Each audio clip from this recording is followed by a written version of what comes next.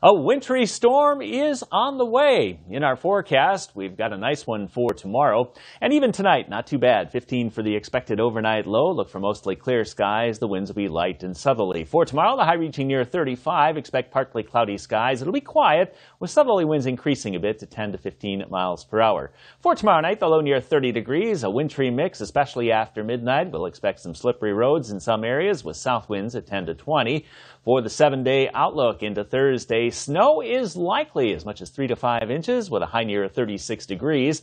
On Friday, expect partly to mostly cloudy skies, highs near 14 for the rest of the seven day outlook. For the weekend, very cold with temperatures in the single digits above and below zero. On Monday, sunny skies, the high near 2 above, and partly cloudy on Tuesday, the high reaching near 9 above. Morning lows of 10 to as low as 20 degrees below zero. Tune in to News 19 for more complete details.